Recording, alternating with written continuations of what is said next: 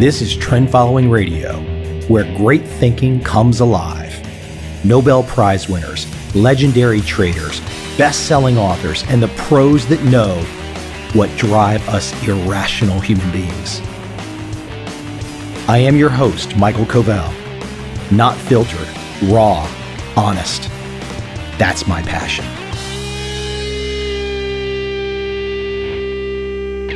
So it's the end of the summer. I'm feeling a little speed. And I'm going to reach back in the archives for two of my favorite episodes with two guys that know something about speed Richard Noble, John Force. Richard Noble, Scottish entrepreneur, he was the holder of the land speed record between 83 and 97. He's the director of Thrust SSC that's the vehicle that currently holds the land speed record. And for 2019, he will try to get over 1,000 miles per hour. My second guest in this nice archive combo episode, John Force. He's an American NHRA drag racer, 16 time funny car champion driver, and 20 time champion car owner. He is one of the most dominant drag racers in the sport with over 149 career victories. He is one of the most dominant drag racers in the sport with over 149 career victories. Come on, you got to admit, you're somewhat jealous. I mean, yes, you get to listen, but how much fun is this? To be able to have such diverse guests on this show. I'm lucky every damn day of the week. Without further delay, let's jump right into my first episode with Richard Noble.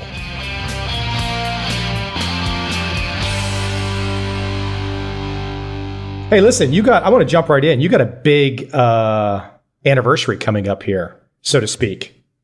That's right. Yeah, 30th anniversary of the world land speed record. Yeah. Mm. Okay, so I, I, I, have two. I have my first question because there's just not many people on the planet that have the feeling of going on the ground uh, over 600 miles an hour, and you've done it more than once. That's right. I've been over 600 miles an hour 11 times.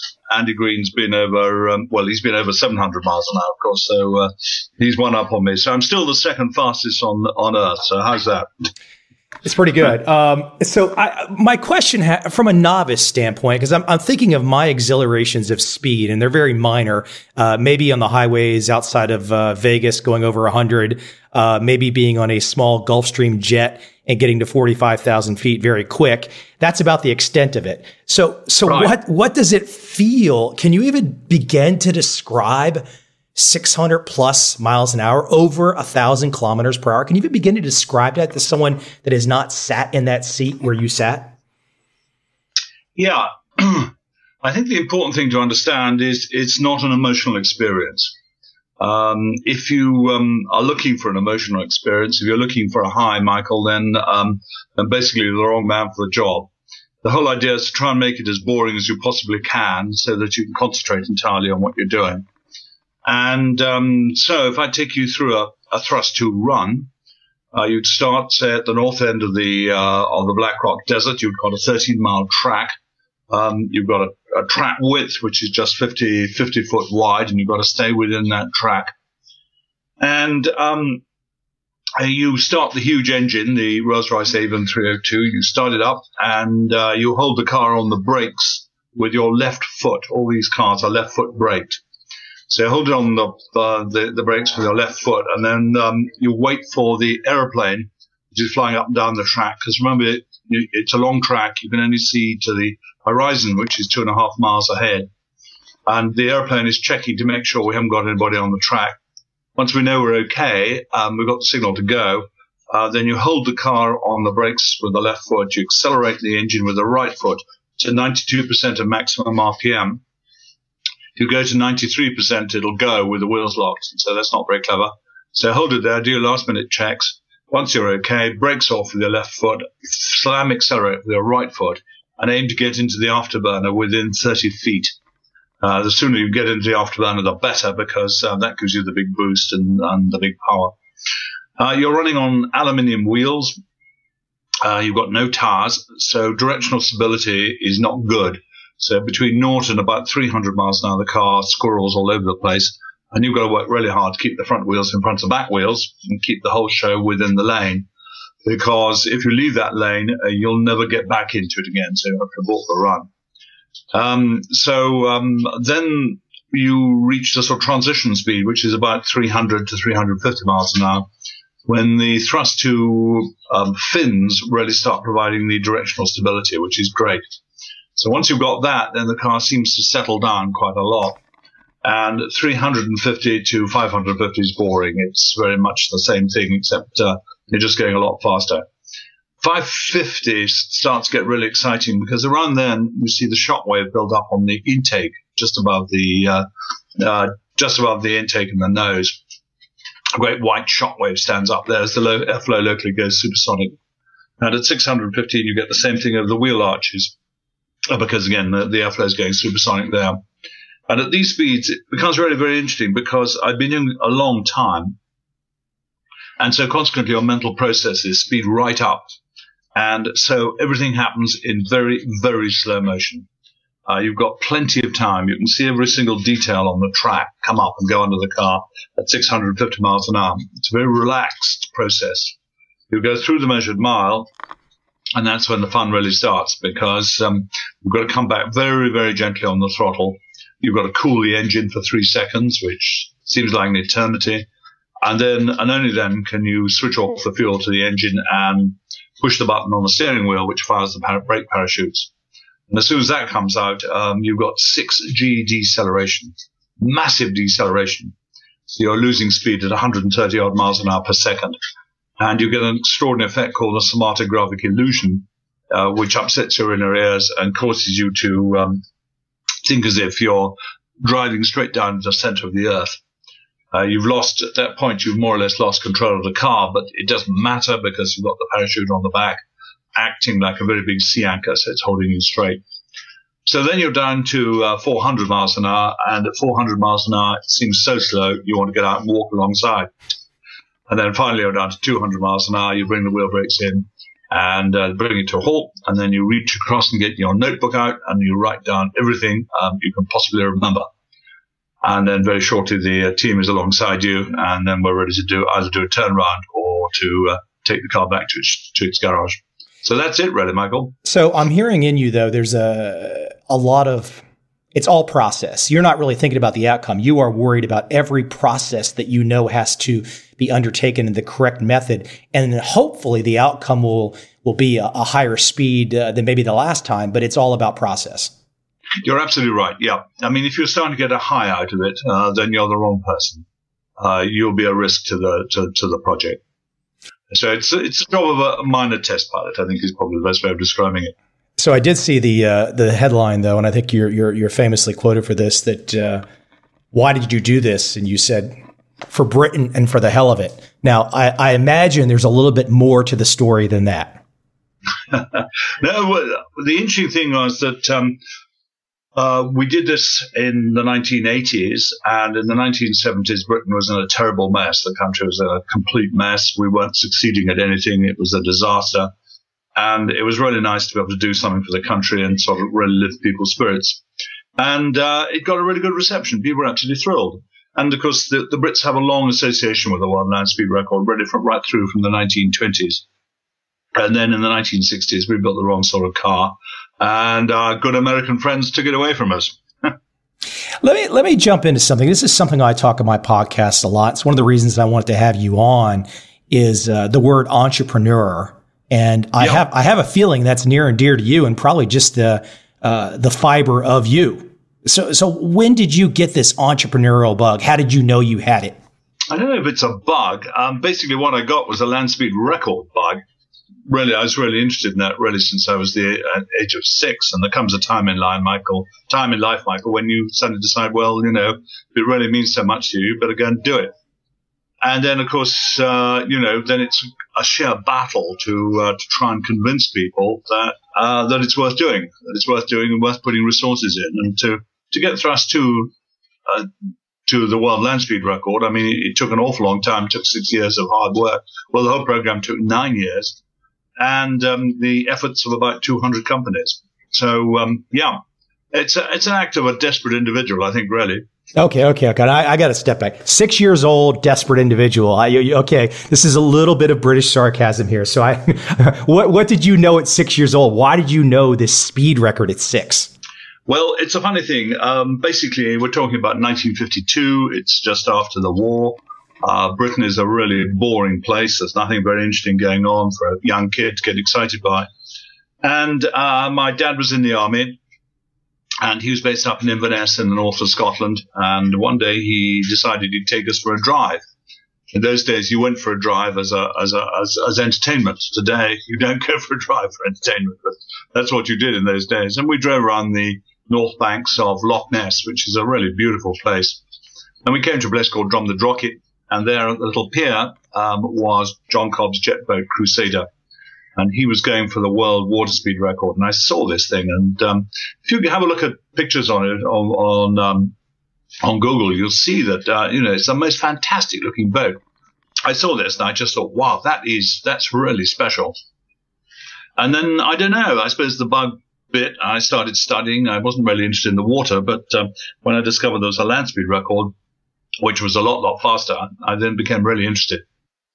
And so I spent uh, my adult years really sort of studying this, buying all the books, reading, reading whatever I could on it. And then eventually, of course, comes to a point where you've got to go and do it.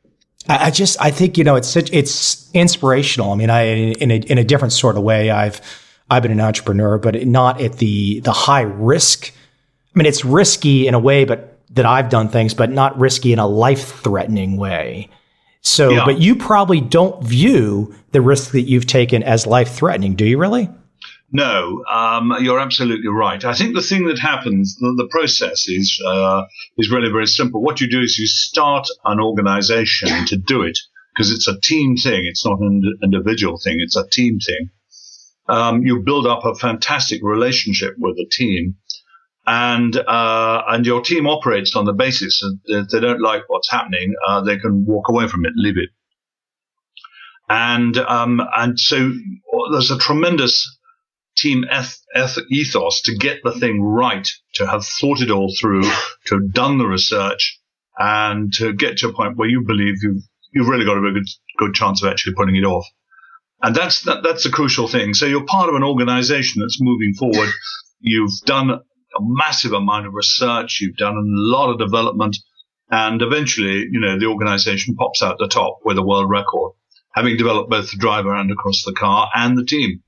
So let me let me follow up on this idea of higher risk, and like I said, not necessarily just in land speed records, but the idea of higher risk in life and society today, where I think society, in many ways, you see so many efforts to minimize risk. And to me, it seems like the other side of the coin. It, it, it's almost a, it's a very fertile ground. And so, how how did you come to this idea about high risk having these rewards and being a space, a place that you want it to be in the high risk space, so to speak? I think it becomes really very interesting because, um, well, first of all, in terms of uh, in terms of, sort of British society, I think, or British culture, uh, we've lost the risk. Um, we we don't take risks anymore, and consequently, we don't go anywhere. And the converse of not taking risks is that we study history and we praise those who did take risks way back in history. So we're going through a sort of phase in Britain where we're praising uh, all the old inventors and the people who fought in World War II and so on and so forth. Pretty soon we're going to run out of material for that. uh, but it's very, it's very, very interesting. So consequently, we don't take risk, and because we don't take risk, we don't advance at all. Um, we need people um, like Steve Jobs, um, who you know was was just absolutely outstanding entrepreneur of his decade, his time. It's very difficult to um, to get people to work like that and understand that. And so with our organization, um, and for instance, in Bloodhound, we have 60 people working. We've got to develop a, a risk culture where people are quite happy to take risk and are encouraged to take risk. And it becomes very interesting. The um, it takes people about three or four months to sort of change from being um, working in a hierarchical organization where they're told what to do to working into one of our organizations where they decide what they're going to do. You know, I've seen some comments that you've made talking about security and people's desire for comfort. And I think if you focus only on security and comfort, you maybe miss one of the most important things in life, which is passion. Uh, waking yep. up, waking up each day and saying, "Let's go take it on." And I mean, you're a great example of that. You wake up every morning and say, "How the hell are we going to get through today, Michael?" yeah, but that's still a great feeling, right? I mean, who wants to wake up yeah, and just? I tell you what is a great feeling is that when you start a day and you think, "Oh my God, how the hell are we going to get through this? We've got so many problems and so many difficulties." And then somewhere along the line, something magic happens, and one of these magic people says, "Yeah, we're going to join. We're going to be part of you." And that is a fantastic moment. So for all the months of crap and difficulty and hassle and time, just occasionally you meet these amazing people. And uh, there was uh, there is one person at uh, Rolls Royce who decided that uh, Rolls Royce was going to sponsor the project. And I, I, went to this meeting and I was told everything was going to turn to ashes and, uh, you know, we had to open hell. And the man just hit the table with his fist and said, right, we're doing it, committed the whole of Rolls Royce, which is just brilliant. So just occasionally you're very fortunate to meet these people. Okay, but but when when you're in that room, and I know you've talked about this too, the idea of your your passion requires uh, capital. So, what are some of the things that you've learned about motivating people to get them to come over to your perspective? Right. Well, we don't. Let's get that right. We don't have any capital, Michael. It's uh, it's a big mistake. capital means shareholders. Uh, capital means banks, and uh, and that's where the problems start because uh, if you're running a very high risk program like, uh, for instance, like Bloodhound or Thrust SSC or Thrust 2, um, the shareholders get very frightened because they've, they've never really been in situations which uh, we find ourselves in. And so you don't watch shareholders. So basically, it's a revenue business and uh, you've simply got to make the money every month. It's as simple as that. And there's never, I mean, I've, I've seen this also in your writings too. The idea, I see it in America I'm seeing actually a, quite a bit of the entrepreneurial zeal in Asia all this year, but and you're mentioning it a little bit in Britain, the idea of giving up.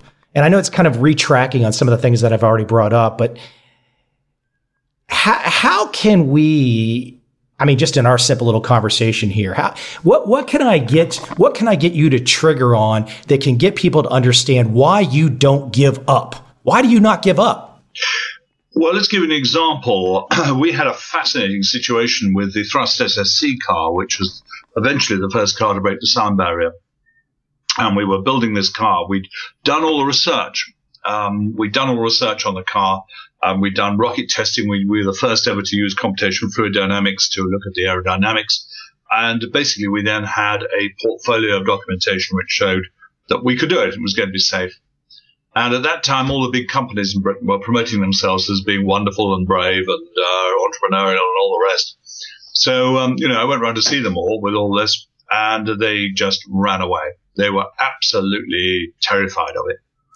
Um, which is really very sad because, of course, you know, at that stage we already held the world land speed record. We were probably the best to do this, and um, they weren't going to back us. What did they say? Why, why were they terrified? What did they say, Richard? Well, they saw the risk. Um, they, they, they, all they could view, all they could imagine was uh, a terrible car crash and the last piece of bodywork having their logo on it. I, I think that's as far as it goes. So what do you do? Well, if you've got something that's as valuable as that, in other words, the research, the, um, you know, uh, you, have just got to go and do it, haven't you? To hell with all the rest of them. You've just got to get on and do it. And somewhere along the line, providing you keep battling, batting away, um, you'll find a few like-minded individuals and um, gradually you build an organization that can do it. That's what it's done. But all the way down the line, great difficulties with the, the British culture, great difficulties uh, with the big companies who wouldn't support it. And, uh, and we still have that trouble too with Bloodhound.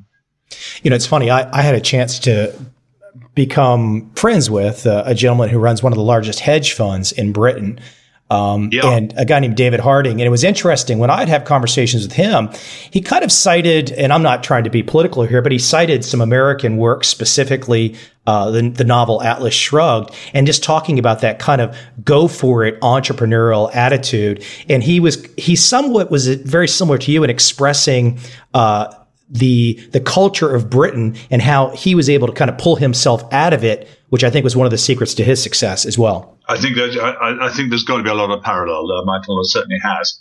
Uh, because basically, um, the, the, also, you know, the culture extends to the media, and this was an extraordinary experience we had. Was that um, having done all the research on the car, on the, and now here we're talking about the Thrust SSC car, so we're talking uh, 1992, 93. The uh, the only way we can finance this is via sponsorship, and sponsorship requires, of course, a lot of media coverage. So you've got to get out and get the media coverage in order to uh, generate the interest, in order to generate the money to build the car. So that's the sequence. Suddenly, all our media coverage stopped. Um, and I couldn't understand this. I mean, this is a fantastic situation. You're building the world's first supersonic car. You've got the real chance of pulling this thing off. And suddenly all your media coverage stops. So I got in the car and I raced around to see a whole lot of editors and anybody who'd see me and the BBC and all the rest. And um, the result of all these meetings was fascinating. They simply said, um, do you know, they said, it's too complicated for us. It's niche engineering. It's high technology. Our, our readers won't understand this, um, you know, and uh, it, so therefore it's not for us. Um, but they said when the thing starts to run, when you start to run that car with all the noise and the flame and um, violence and everything else, uh, we'll be there for you. But uh, during the build, that's not for us. Uh, so consequently, you know, our business plan was uh, was a complete mess. We didn't know what the hell to do, and uh, we were saved by the Digital Corporation of America, who came around the corner and said, uh, "We're looking for um, show websites." This was 1992, and I said to them, "What's a website?" And they explained it. I thought, well, that's really interesting. It's a one-to-one communication. That's what we should do. We'll open a new front. We'll bypass conventional media. So we started putting a website together with the digital guys, and they were really interested and very, very helpful. And uh, they started promoting it all over the world. And we didn't know what to do with this website, what to put on it. So we started getting the engineers and everybody in the team to write write on the website and explain what was going on and what they were doing and, and how they were tackling their day to day problems. And, uh, uh, and, and so that was what we did. We got a series of blogs there. And then suddenly this thing, the website took off big time, started to grow at an enormous rate. And we could then do something that the BBC could, couldn't do at that stage, which was go into the website and interrogate it and find out what they were all reading. And Michael, what they were reading was the technical pages. and this is absolutely amazing. So uh, we said, right, well, let's give them as much technical stuff as we possibly can. So we gave them 800 pages of technology on the project.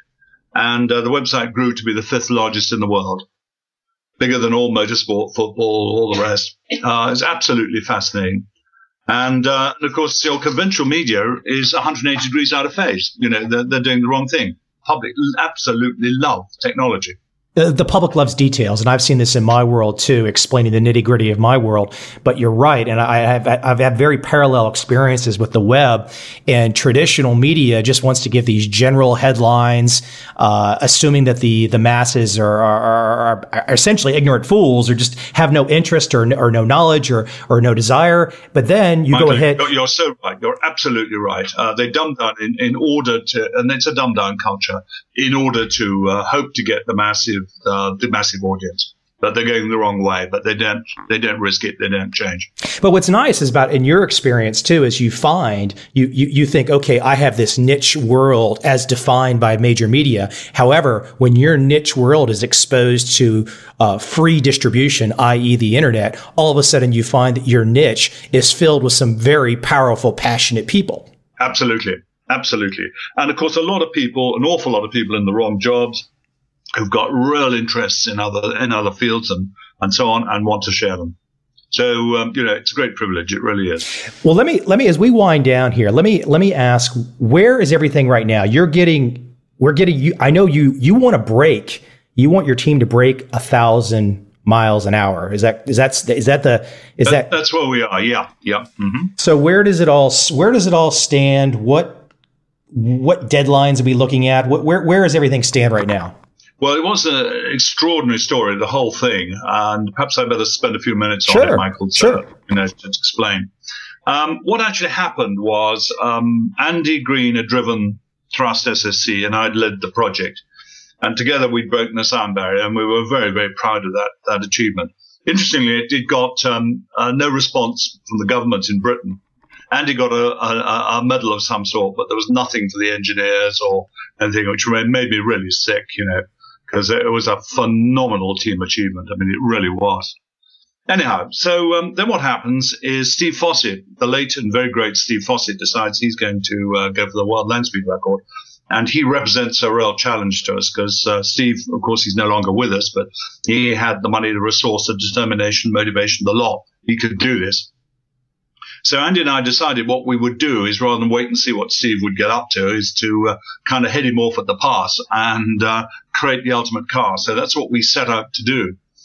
We agreed with Ron Ayers, who's the aerodynamicist. Without Ron, we go nowhere. Uh, that uh, the the term the peak speed or the record speed we'd head for is 1,000 miles an hour, Mach 1.4 and of course, uh, you know, this was met with incredibility by the aerospace community in Britain.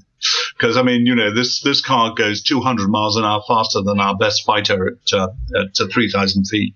So we are actually going to position, same position as, as the industry was in the 1920s when actually the cars went faster than the airplanes. So that's, that's all real interesting stuff.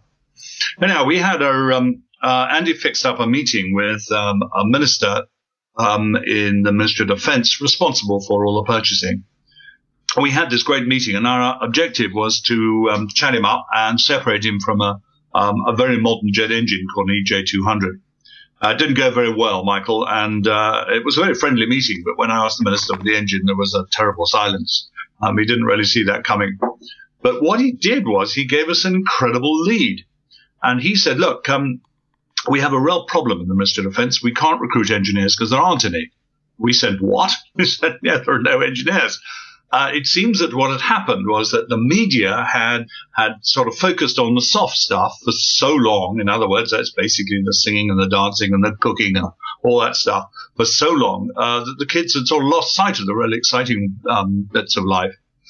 And uh, the minister went on to say that uh, during the Cold War area, era, um, basically everybody was producing these fantastic airplanes, and we produced, you know, the Concorde and the Lightning and the, and the Vulcan bomber and the TSR2 and everything. Fantastic products.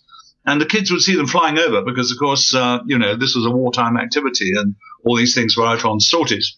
And they were wildly inspired by, by, by what was going on. And that resulted in a steady supply of, of, of uh, scientists and engineers. So the interesting thing here was the minister then said to us, Tell you what, he said, what I want is an iconic project like yours run through every school in the country to create us a new generation of scientists and engineers. And uh, so this seemed to me the only way we could make the minister happy. So I shook his hand, told him we'd do it. We then started studying all this, and we came across this fantastic graphic which shows um, the huge surge in um, conferring of PhDs in the US from 1962 to 72. It sort of grew by a factor of about 300%, massive growth. And that was almost certainly linked directly with the uh, US manned space program, uh, otherwise known, you know, of course, as the Apollo effect. And so we decided we'd uh, try and work along these lines. And it's been hugely successful, Michael. We now have uh, 5,400 schools in Britain on it. We've got over probably about 2 million school kids studying it. So it's going to create a very large number of engineers. And in the US, you have exactly the same problems. And in a, a lot of uh, countries around the world, you know, the media have been doing the same thing and thus not giving the, the kids any real sort of inspiration at all. It's all been this virtual fakery. Anyhow, so um, that's one side of it. And that meant, therefore, that our, our sponsors got um, uh, CSR benefits, corporate and social responsibility benefits, um, which are very important to them. And uh, we went through an enormous phase of research, which took 55 man years, using three of the largest high performance computing clusters in Europe, thanks to our good friends at, at Intel who made all this possible. And now we're into the build of the car. Um, and we're about sort of about halfway through. So if you went to the workshop now, you, would see it's beginning to look like a car. Very difficult program. Uh, we did get the jet engine in the end, thanks to Rolls Royce. We've also had to develop our own rocket motor, so this is a huge program. It's all it's all really coming together. We're going to have the car in um, quarter two, 2015. Um, we've also cleared an entire desert in South Africa. So we've got a, a 12 mile run there, which is, I think, probably one of the best in the world. So all that's done. With, um, our sponsor, our local South African sponsor, MTN, is putting up the huge 200 foot radio mast now, so we take the data from the car and uh, uh, uh, connect it straight up into the internet. So around the world, all the schools can get all the data from the car each time it runs, uh, and they can study it. So it's going to create an enormous number of scientists and engineers worldwide. At the moment, we're in 220 countries. Uh, the only countries we're not in, as far as I make out, are North Korea, which is what you might expect, and uh, Vatican City. So that's a bit surprising, but there we go. You know, I, I love the idea that uh, that maybe maybe some of the passion in engineering uh, uh, that has disappeared in the last couple decades that you're trying to bring back. You, you you seemingly laid it right at the feet of boy bands. Yeah, exactly right. Absolutely right. Um, so you know. So you're telling you're, you're telling me that boy bands are not good uh, for for males that are looking to become engineers, even uh, ladies that want to become engineers. Boy bands are just the downfall of society, perhaps. Absolutely. I don't see the connection. Do you? no. I think maybe if they could be eliminated, that'd be a good thing. Hey, listen, I'm going to let you, I want to, I want to let you wrap up here. What is it? Because for people, I know people are going to listen and they're going to want to kind of check out what you're doing, uh, get involved, yeah. read, maybe even make some donations. So where is the best place where they can start the website, the main spot, Richard? Yeah, the main spot is the website, um, www.bloodhoundssc.com. And there's an awful lot of material on there. We're also on Facebook and Twitter, etc. But the um, the main thing is the website, and uh, we're also starting a reciprocal website called Blast, which will in due course enable people to upload their own material and uh, communicate with each other. So uh, it's going to be a big international thing. We're going to be operational in 2015 uh, when we want to go supersonic, and 2016 when we want to get to our thousand. That's the plan. It won't work out like that, but that's the plan. Well, I think it's I think it's awesome, and I think uh, for anybody out there that's wandering around saying uh, I can't do this, I can't do that, uh, I don't know what to do. I think sometimes you just you just got to wake up and say, you know, you said as a six year old boy, a lot of people have dreams when they're little kids, and for whatever reason they let go of them. Maybe society dumbs them down, society scares them. Uh, yep. But I think it's really nice for people to hear from someone like yourself to say, hey, all that stuff is nonsense. You've got to follow your passion. You've got to follow your dreams. And if you don't, you could be one of those guys sitting on the couch at 70 years old going, what did I do for the, what did I do during my life? Yeah, absolutely, Michael. That's exactly it. Yeah. Well, listen, hey, it was it was great having you on today, and uh, I look forward to following uh, your pursuit of the record. Thank you, Michael. I really appreciate this. It was great fun conversation, and um, thank you again. Take care. And now for part two of my speed episode American drag racing champion, John Force. I hope you enjoy.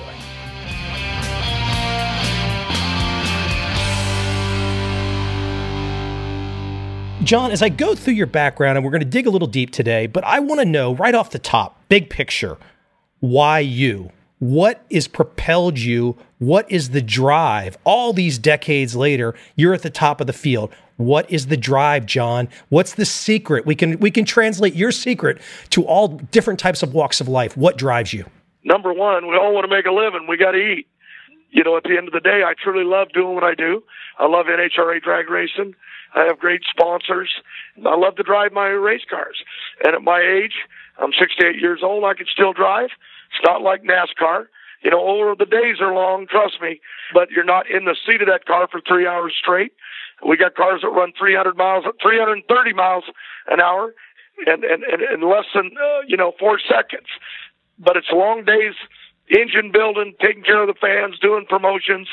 It's a long day, but at the end, it, it's magic to me. I love driving these cars. NHRA drag racing's PT Barnum on the road, and we live on the road year round as a novice, as most of us are, I mean, there's very few people on this planet that are going to experience what you experience sitting at that starting line four seconds later, 330 miles an hour plus. Try and give the audience some perspective as you're sitting there at the starting line, because I've seen you say the, the races are won and lost right there at the starting line. What is going on? Give give a piece of that feeling at the beginning, during the race, the thrill, the excitement try and give a picture, a story what this might feel like. Well, first of all, you're talking two cars racing side by side. We race in what they call the funny car ranks. My daughter, two of my daughters and my son-in-law race in the funny cars like myself, and I have a daughter that races top fuel. You're talking about a car that's 10,000 horsepower, runs nitromethane, has a 12-man crew that take care of it between rounds, tear it apart, put it back together. And then they give you this hot rod to go to the start line. Nitromethane belching out of the pipes. You know that it's a, a three to four second run. My family just ran, Robert Courtney both ran three 38, I think, last week in 337 in Topeka. We're talking about going from a dead stop, more horsepower, one race car, 10,000 horsepower than the whole front row. In fact, the whole field at NASCAR is more horsepower than all their cars put together. And then a driver has to react. He's wearing fire gear. He's strapped in. Uh, you know, races are won or lost on the reaction to a Christmas tree. That's why you got to keep yourself fit. I'm heading to the gym tonight. Keep yourself in good shape. Keep the mind responding because your because your whole future's out there in front of you. And uh, and when you hit that throttle, all hell breaks loose. And that car can leave the starting line, shake it so bad it can knock you out. It can carry the front end for three, four hundred feet. You know it can set you on fire. You know that it can put you over the guardrail. Uh, I had a, a young kid that drove for me years ago that was killed in in uh, 05, 07. I crashed the same year. I was in the hospital for for six weeks uh, in rehab, uh, just getting back where I could come back and win. And I've won two or three championships since since then. Everything's out there. The pressure, the sweat. Uh, I've got a lot of experience. I know how to handle the pressure, and even sometimes it gets me. But it's really the joy of it, of the uh, of the of the heat of battle being one with your race car.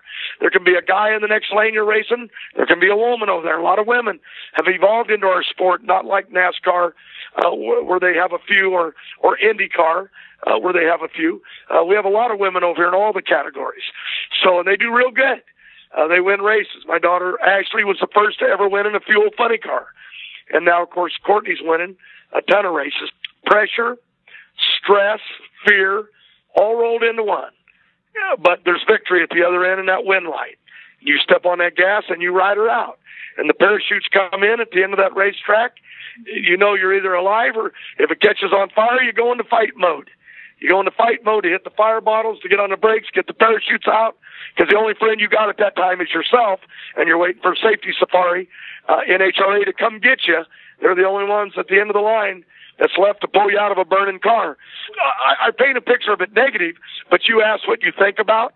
You really think about cutting the light, winning the race, getting the car from A to B through tire shake, wheel stand, whatever it takes to get there. But all that other stuff is out there because we always joke, not because I'm sponsored by Monster Energy, uh, my daughter's car. Uh, I'm sponsored by Peak Motor Oil and, and Roberts with Auto Club and, and, and Courtney's with Advanced Auto Parts, and we're always Chevrolet. But Mac Tool, all these sponsors that pay PPG, they want you to win at the end of the day. So that is your priority. But in the end, you got to be, in case that monster jumps up in the front seat with you.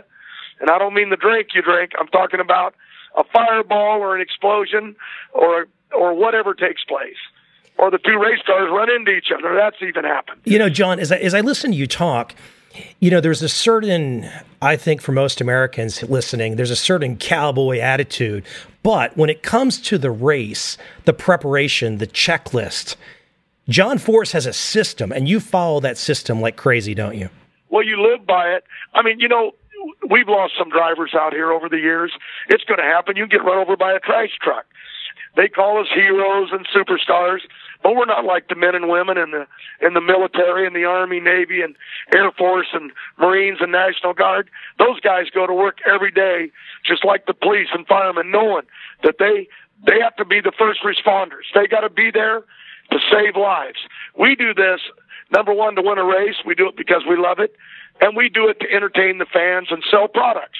That's what it's all about. But we also know what's out there and it can get ugly.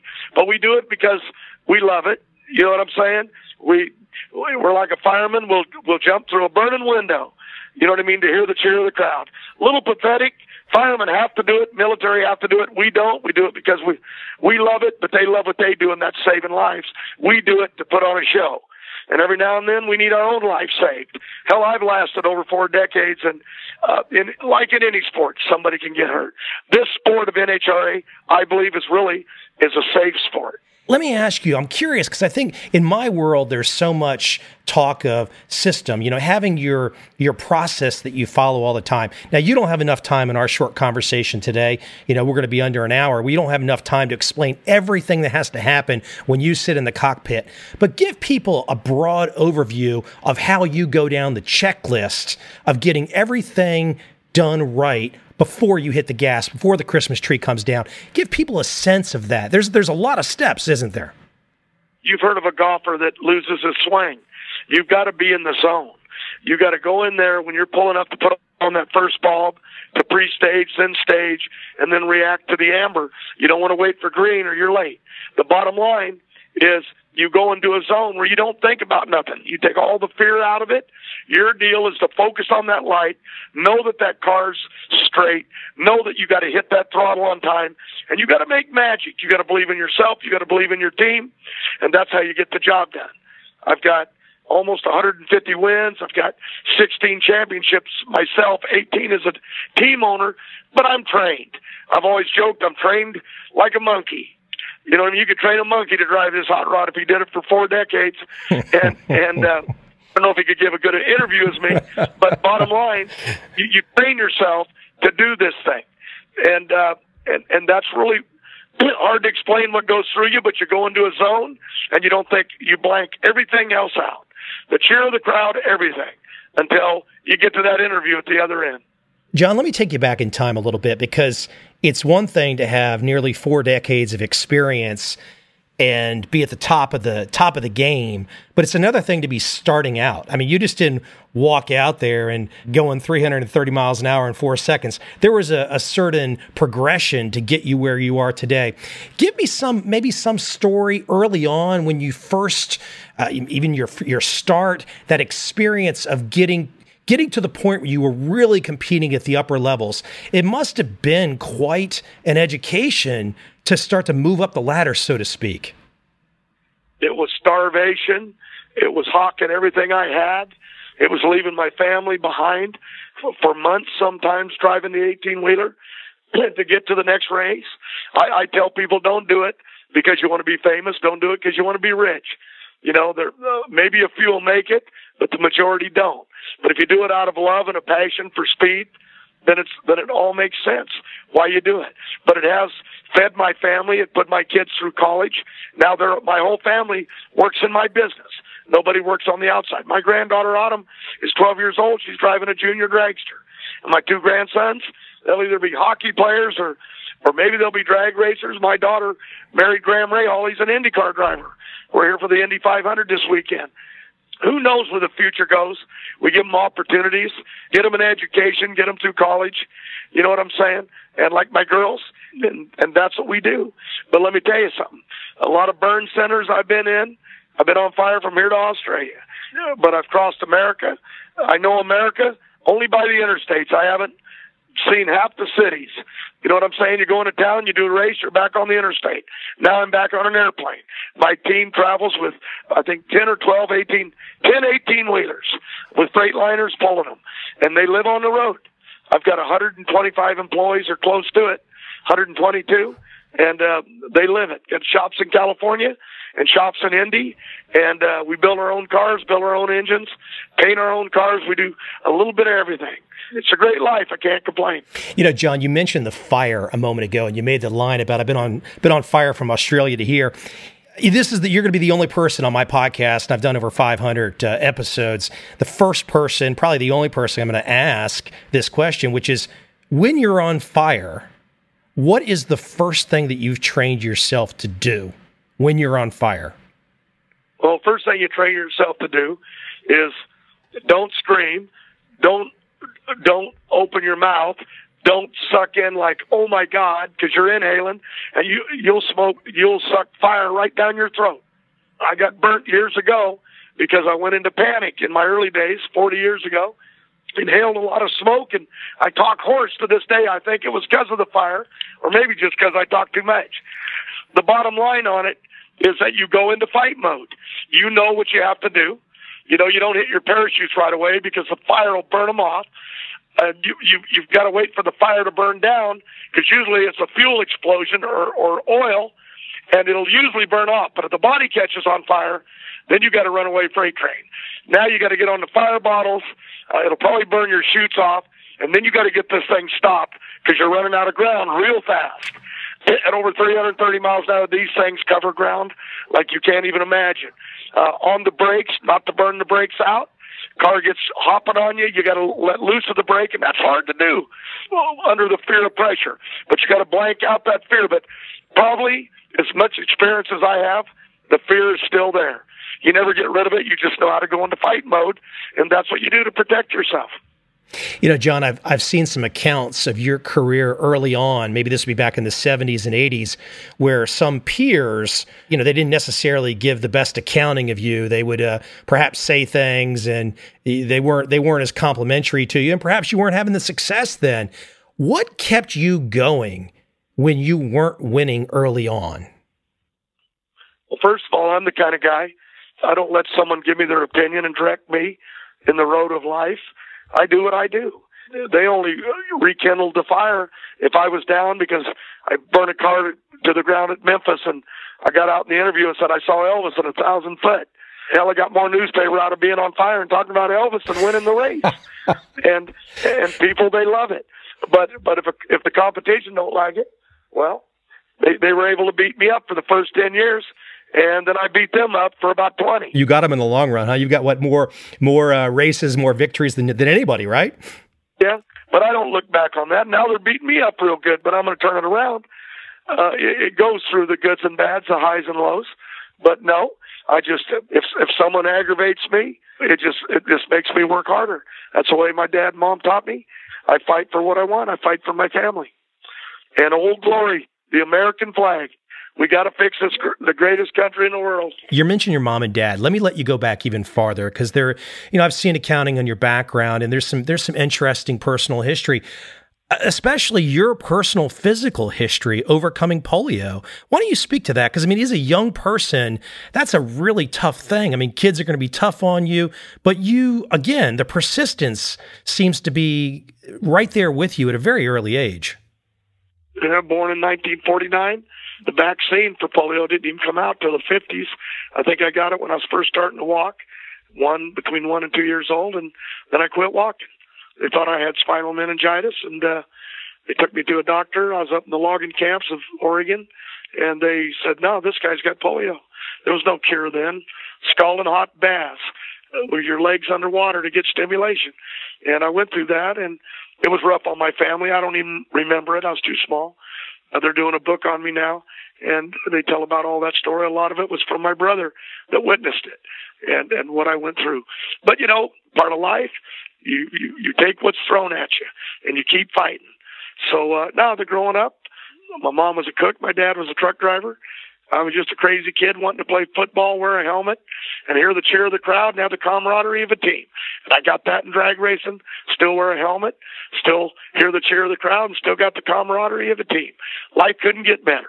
John, why why has this passion, this passion that you're giving on this call, why do we not see this across?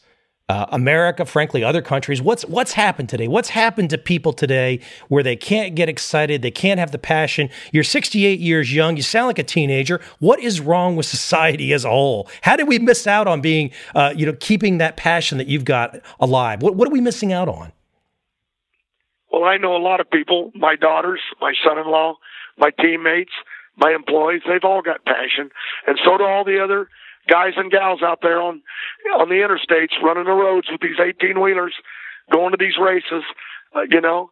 I, there's a lot of a, a, a lot of passion worldwide but there's a lot of anger out there and I don't know why.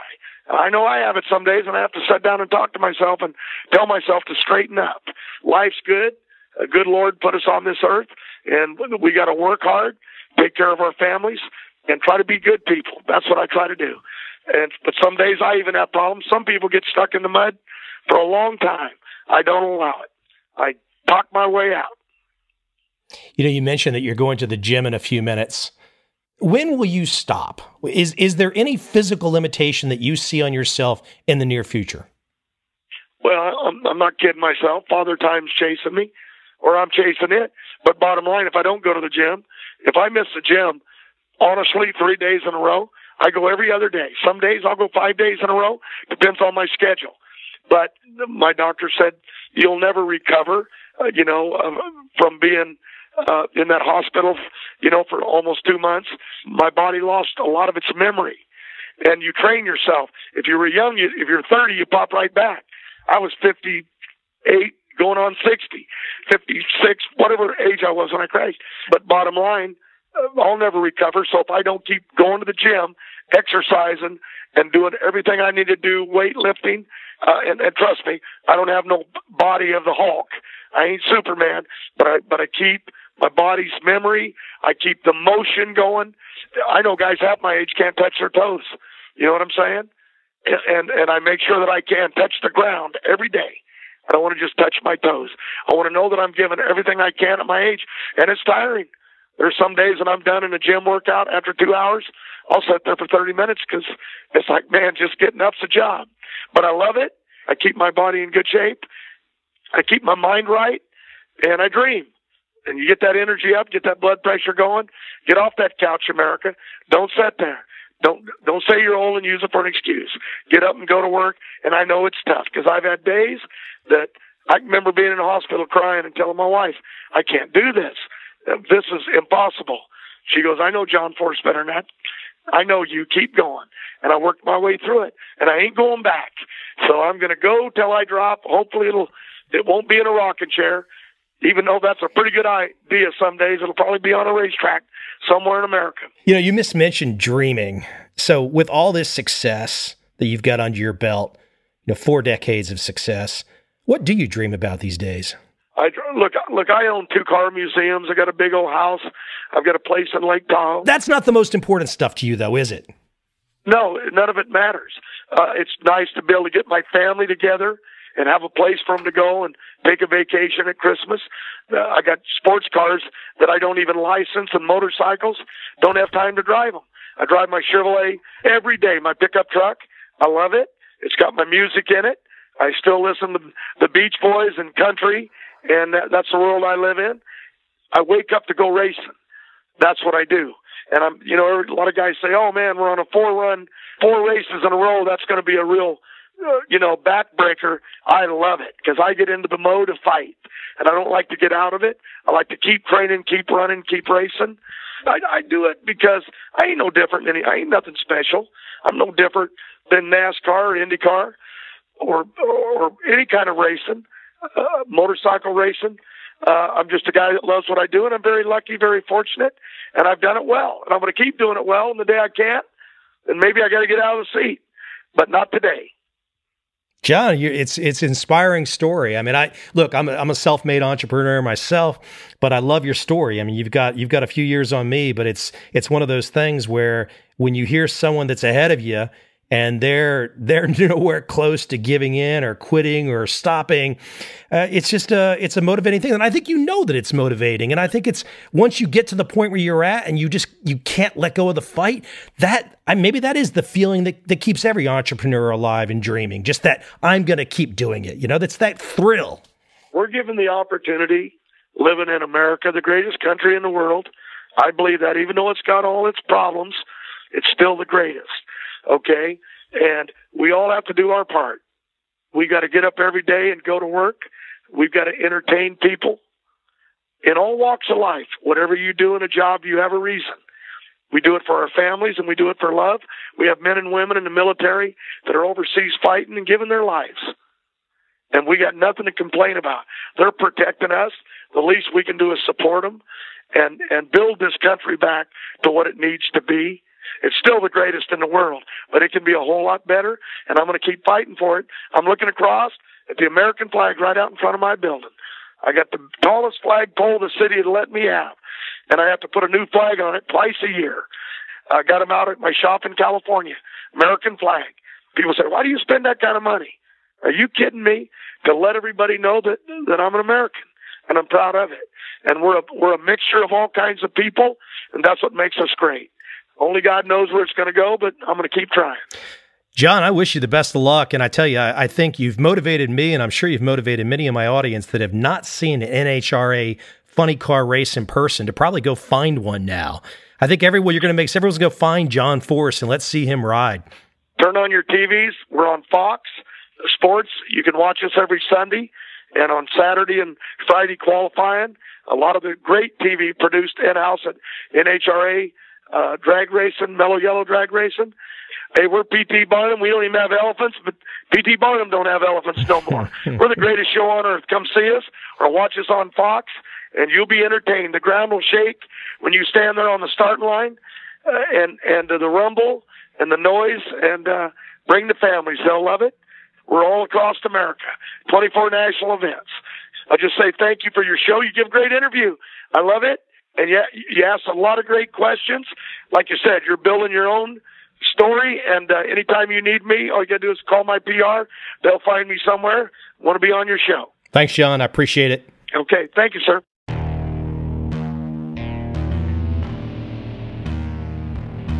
I see a time when those awake will understand how to make money in up, down, and surprise markets. Whether new trader or experienced, college student or financial advisor, protecting against a crash or just trying to make a lot of money, trend following offers everyone an answer in uncertain times. To get started immediately, send me an email, michael at covel.com. I will send you the right trend following steps to take along with my free video. But if you want to buy and hold, trust the government and trust Wall Street, this is absolutely not for you.